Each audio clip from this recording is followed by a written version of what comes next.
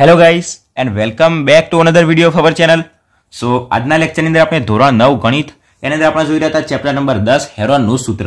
આપણે એની અંદર ઉદાહરણ નંબર એક નક કમ્પ્લીટ કર્યું હતું. આજે આપણે નેક્સ્ટ એક્ઝામ્પલ જોઈશું. એક્ઝામ્પલ નંબર ટુ ઉદાહરણ નંબર બે. એકદમ સિમ્પલ ઉદાહરણ આપેલું છે. માત્ર ને માત્ર આપણે ખાલી એની અંદર જે રકમ આપેલી રહી, એને થોડીક સમજવાની છે. રકમની અંદર કમ્પ્લીટ ખબર પડી ગઈ તો દાખલો આપણને આવડી જશે. બરાબર? સો ખાલી વિડીયોની અંદર અંત સુધી બને રહેજો. કમ્પ્લીટ તમને એક્ઝામ્પલ નંબર બે, ઉદાહરણ નંબર બે આવડી જશે, એ મારી ગેરંટી છે. સો પહેલા નંબરની અંદર આપણે એની રકમ વાંચીએ, રકમના સમજીએ અને એના પછી આપણો દાખલો ગણવાનો સ્ટાર્ટ કરીએ. સો પહેલા નંબરની અંદર રકમ વાંચીએ. એક ત્રિકોણાકાર બગીચા એબીસીની આપણને બાજુઓ આપેલી છે. એકસો વીસ, એસી અને પચાસ મીટર છે. જેટલું આપેલું છે, એના પહેલા સમજી લઈએ. આપણને એક શું આપેલું છે? ત્રિકોણાકાર બગીચો આપેલો છે. હવે ત્રિકોણાકાર બગીચો હોય, મતલબ આપણને શું આપેલું છે? એક ત્રિકોણ આપેલો છે. અને એની ત્રણ બાજુ છે. ત્રિકોણની કેટલી? ત્રણ બાજુ હોય.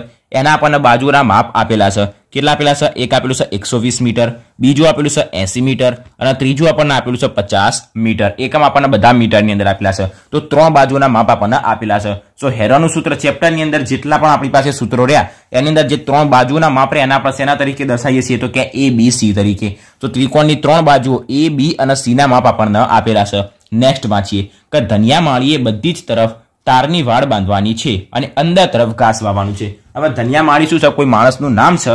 અને એને શું કરવાનું છે? આટલું જે ત્રિકોણ રહ્યો, એ ત્રિકોણની જે ત્રણે ત્રણ જે બાજુ રહી, એ બધી બાજુ પર શું કરવાનું છે? એક તારની વાડ બાંધવાની છે. મતલબ તાર બાંધવાનો છે.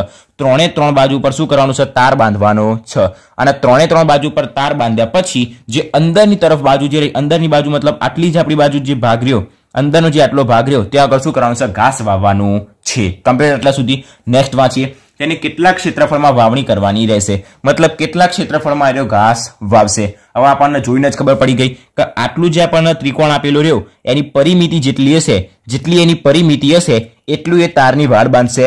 અને અંદર જે ત્રિકોણનું ક્ષેત્રફળ જેટલું હશે, ત્રિકોણનું જેટલું ક્ષેત્રફળ હશે, એટલા જ ક્ષેત્રફળની અંદર શું કરશે? એ ઘાસ વાવશે, મતલબ વાવણી કરશે. તો આપણને શું કીધું છે? કે તેને કેટલા ક્ષેત્રફળમાં વાવણી કરવાની રહેશે? મતલબ ત્રિકોણનું જેટલું ક્ષેત્રફળ રહ્યું, એટલા ક્ષેત્રફળની અંદર એ શું કરશે? વાવણી કરશે. કમ્પ્લીટ આટલા સુધી. હજી નેક્સ્ટ આગળ વાંચીએ તે એક બાજુએ ત્રણ મીટર પહોળી જગ્યા દરવાજા માટે છોડે છે. મતલબ આપણી પાસે આટલો જે ત્રિકોણ ભાગ રહ્યો, એની અંદરથી એક બાજુ જે રહી, એક બાજુ માની લો કે આપણે એક બાજુ રહી, ફરીથી આપણે આકૃતિ દોરીએ.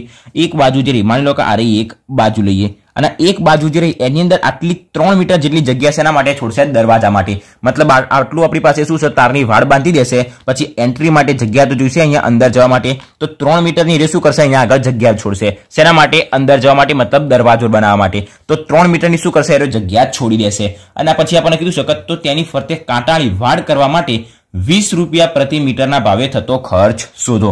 વીસ રૂપિયા પ્રતિ મીટરના ભાવે થતો ખર્ચ શોધવા માટે આપણે પહેલા એટલું શોધવું પડે કે કેટલા મીટર અહીંયા તારની જરૂર પડશે. જેટલા મીટર તારની જરૂર પડશે, માની લો કે બસો મીટર તારની જરૂર પડે, તો એક મીટરના આપણને આપેલા છે વીસ રૂપિયા, તો બસો મીટરના કેટલા? બરાબર? આ રહ્યું આપણને સરળતાથી આવડી જાય. તો પહેલા નંબરની અંદર આપણે શું શોધવાનું છે? તો કે કેટલા ક્ષેત્રફળમાં વાવણી કરશે? કેટલા ક્ષેત્રફળમાં વાવણી કરશે? તો કે ત્રિકોણનું જેટલું ક્ષેત્રફળ હશે, એની અંદર વાવણી કરશે. બીજા નંબરની અંદર આપણને શું કીધું છે? કે એક બાજુ ઉપર ત્રણ મીટર જેટલી જગ્યા છોડે, ત્રણ મીટર જેટલી જગ્યા છોડશે તો એને કેટલી વાડ બાંધવાની રહેશે? તો એક, બે અને ત્રણ. આટલું જે ત્રિકોણની જે ત્રણે ત્રણ બાજુ રહી ત્રિકોણની ત્રણે ત્રણ બાજુના માપ મતલબ આપણે શું કહી શકાય? એની પરિમિતિ કહી શકાય. પરિમિતિ મતલબ શું? તો કે પહેલી બાજુ, બીજી બાજુ ત્રીજી બાજુ. ત્રણે જેટલી બાજુ આપણને આપેલી છે બધાનો શું કરી દઈશું આપણે સરવાળો કરી દઈશું તો આપણને શું મળી જશે? એની પરિમિતિ મળી જશે. પરિમિતિ મતલબ જેટલું આપણે અહીંયાથી સ્ટાર્ટ કરીને અંતર કાપીએ, એને શું કહેવાય? પરિમિતિ કહેવાય. મતલબ ત્રણે બાજુના માપનો સરવાળો કરી દઈશું, ત્યારે આપણને શું મળી જશે? પરિમિતિ મળી જશે. અને એની અંદરથી આપણે આટલી જે જગ્યા રહી મતલબ ત્રણ મીટર જે રહ્યું, આખી પરિમિતિની અંદરથી ત્રણ મીટરના આપણે બાદ કરી દઈશું. એટલે કેટલી જગ્યા જેટલી આપણને પરિમિતિ મળશે, જેટલો આપણને લંબાઈ મળશે, એટલી લંબાઈના તારની આપણને જરૂર પડશે. અને માની લો કે આપણને બસો મીટર તારની જરૂર પડે, એક મીટરના વીસ, તો બસો એક કેટલા થશે એ આપણે શોધી દઈશું સો પહેલું કામ આપણું કયું? જે વસ્તુ આપેલી છે, જે કિંમતો આપેલી છે, આપણે બધી કિંમતો લખી દઈએ. શું આપણું છે? ત્રિકોણાકાર બગીચાની એબીસીની બાજુના માપ આપણને આપેલા છે. સો સ્ટાર્ટ કરીએ. અહીં આપણને જે આપેલું છે લખી દઈએ. એ બરાબર આપણે લઈ લઈએ એકસો વીસ મીટર. પછી બી બરાબર આપણને આપેલું છે એસી મીટર. અને સી બરાબર આપણને આપેલું છે પચાસ મીટર. કમ્પ્લીટ એટલે સુધી ધનિયા માળી બધી તરફ તારની વાળ બાંધવાની છે. અને અંદર તરફ ઘાસ વાવવાનું છે. તો તેને કેટલા ક્ષેત્રફળમાં વાવણી કરવાની રહેશે. કેટલા ક્ષેત્રફળમાં વાવણી કરવાની રહેશે? તો જેટલું ત્રિકોણનું ક્ષેત્રફળ રહ્યું એટલા ક્ષેત્રફળમાં એ વાવણી કરશે. બરાબર? આપણી પાસે ગોળ ખેતર હોય, તો આપણા ગોળ ખેતરની અંદર કેટલા ક્ષેત્રફળમાં ઘઉં વાવી શકાય. તો જેટલું ગોળ ક્ષેત્રફળની અંદરની જેટલી જગ્યા હશે, બધી જગ્યા આપણે વાવી શકાય. મતલબ વર્તુળનું જેટલું ક્ષેત્રફળ છે એટલા ક્ષેત્રફળની અંદર આપણે ઘઉં વાવી શકાય. એવી રીતના અહીંયા આપણને એ જ કીધું છે, ત્રિકોણ આપેલું છે, અને ત્રિકોણાકાર જે ખેતર રહ્યું અથવા તો જે વાડ રહ્યું, એની અંદર જેટલી જગ્યા છે જેટલું ત્રિકોણનું ક્ષેત્રફળ હશે, એટલા જ ક્ષેત્રફળની અંદર એ શું કરશે? શું વાવવાનું છે?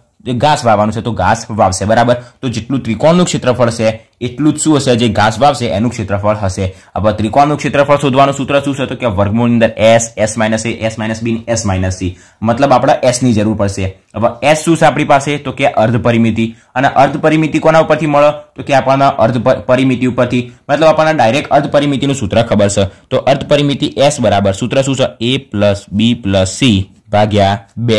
આપણી પાસે પરિમિતિ હોય અને ડાયરેક્ટ ભાગ્યા બે કરી દઈએ તો પણ આપણને અર્ધ પરિમિતિ મળી જાય. પણ આપણને પરિમિતિ આપેલી નથી. તો અર્ધ પરિમિતિ એસ બરાબર A plus B plus C ભાગ્યા બે. તો બરાબર એ પ્લસ બી પ્લસ સીની આપણને કિંમત આપેલી છે એ છે એકસો વીસ. બીસ આપણી પાસે એસી અને સીસ આપણી પાસે પચાસ. એના ભાગ્યા બે. એકસો વીસ અને એસી થશે બસો અને બસો પ્લસ પચાસ મતલબ બસો પચાસ. તો બસો પચાસ. એના ભાગ્યા બે. બસો પચાસ ભાગ્યા બે એટલે આપણને મળશે એકસો પચીસ. એસ બરાબર આપણને મળી ગયા એકસો પચીસ. એકમ બધા છે મીટરમાં. તો અર્ધ પરિમિતિ મળી ગઈ આપણને મીટરની અંદર. હવે શું શોધવાનું છે? એનું ક્ષેત્રફળ. કોનું ક્ષેત્રફળ? તો કે જેટલા ક્ષેત્રફળમાં વાવણી કરશે એનું ક્ષેત્રફળ. મતલબ આપણે શું શોધીશું? તો કે જેટલા ક્ષેત્રફળમાં વાવણી કરવાની છે તેટલા ભાગનું ક્ષેત્રફળ, મતલબ ત્રિકોણનું ક્ષેત્રફળ. તો ત્રિકોણનું ક્ષેત્રફળ. ત્રિકોણનું ક્ષેત્રફળ બરાબર. આપણી પાસે સૂત્ર શું છે? તો કે વર્ગમૂળની અંદર S S minus A S minus B અને એસ માઇનસ સી બરાબર? વર્ગમૂળની અંદર એસ કિલો છે? આપણી પાસે અહીંયાથી એકસો પચીસ. કૌંસની અંદર એકસો પચીસ minus A S minus A મતલબ એકસો પચીસ માઇનસ એ એટલે એકસો વીસ. તો એકસો પચીસ માઇનસ એકસો વીસ. પછી એકસો પચીસ માઇનસ બીની કિંમત છે આપણી પાસે એસી.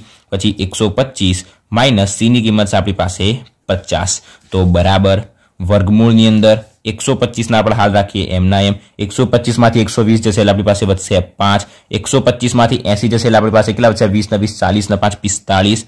પછી એકસો પચીસમાંથી પચાસ જશે તો પચાસ ને પચીસ મતલબ આપણી પાસે વધશે પંચોતેર. હવે મેં તમને પહેલાં પણ કીધું હતું કે જ્યારે બી આપણે ત્રિકોણનું ક્ષેત્રફળ શોધીએ, એટલે વર્ગમૂળની અંદર ઘણી બધી સંખ્યા આવશે. તો આપણે એનું એવું સેટિંગ કરવાનું કે વર્ગમૂળની અંદર એકની એક સંખ્યા બે વખત આવી જાય. મતલબ જો વર્ગમૂળની અંદર પાંચ આવતા હોય તો પાંચ કેટલી વખત આવી જાય? પાંચ ગુણ્યા પાંચ બે વખત આવી જાય. જો વર્ગમૂળની અંદર પાંચ ગુણ્યા પાંચ હોય તો એનું વર્ગમૂળ કેટલું થઈ જાય? પાંચ થઈ જાય. કમ્પ્લીટ? ખબર પડી?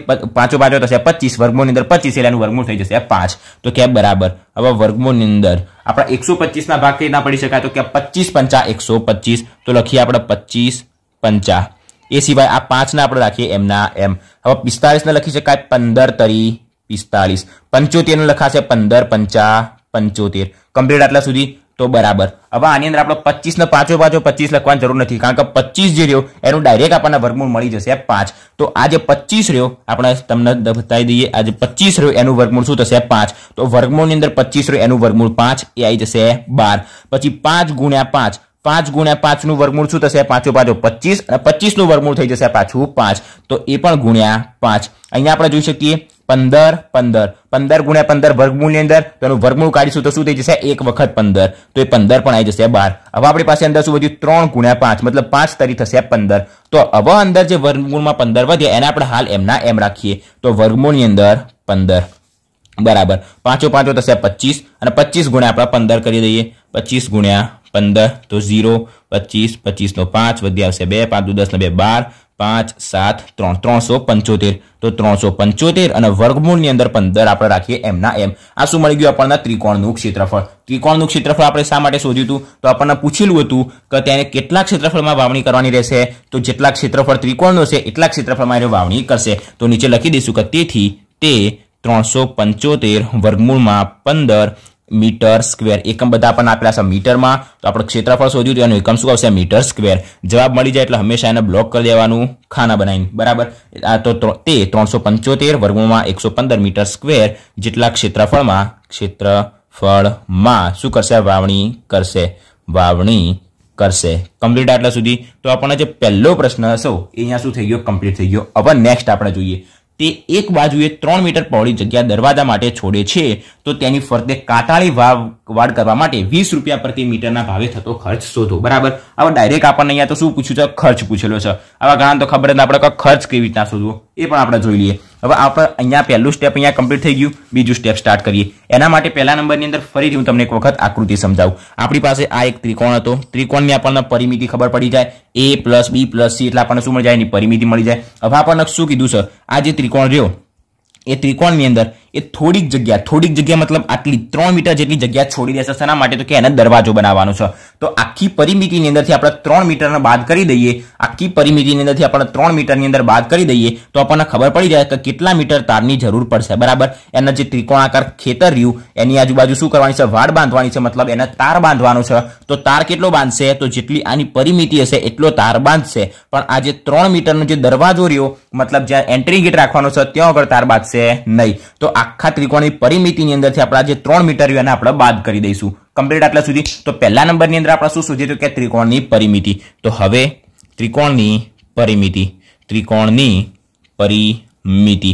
ત્રિકોણની પરિમિતિનું સૂત્ર શું છે આપણી પાસે? તો કે A plus B plus C એ આપણી પાસે આપેલું છે એકસો વીસ. પ્લસ બી છે આપણી પાસે એસી અને સી છે પચાસ. તો એકસો વીસ ને એસી એટલે બસો અને બસો પ્લસ પચાસ એટલે બસો પચાસ મીટર. પરિમિતિ આપણને મળી ગઈ. હવે શું કીધેલું છે? તો આપણને કીધું છે કે તેની ફરતે કાંટાળી વાડ કરવા માટે વીસ રૂપિયા પ્રતિ મીટરના ભાવે થતો ખર્ચ શોધો. હવે વીસ મીટર પ્રતિ મીટરનો જે ભાવ રહ્યો એ તો આપણે પછી શોધીએ. પહેલા આપણને એ તો ખબર હોવી જોઈએ કે વાડ કરવા માટે એને કેટલું કેટલું હતું આપણી પાસે તાર. તો એના કેટલા તારની જરૂર પડશે? તો આટલું જે આટલી એની જે પરિમિતિ રહી, એટલા તારની જરૂર પડતી હતી. તો પરિમિતિ અઢીસો મીટર છે, બસો પચાસ મીટર છે, તો એટલા તારની જરૂર પડશે. પણ આપણને શું કીધું છે કે આટલા ભાગમાં એ તાર તારની જરૂર પડતી નથી. મતલબ વાળ બાંધવાની નથી. તો તારની જરૂર પડશે નહીં. તો ત્રણ મીટરની અંદર તારની જરૂર નહીં પડે. તો જે બસો પચાસ મીટર એની પરિમિતિ હતી, એની અંદરથી આપણે ત્રણ મીટરના બાદ કરી દઈએ. ત્રણ મીટરના બાદ કરી દઈશું તો એટલા તારની જરૂર પડશે. બરાબર? તો આપણે લખીએ હવે કે વાડ બાંધવા માટે વાડ બાંધવા માટે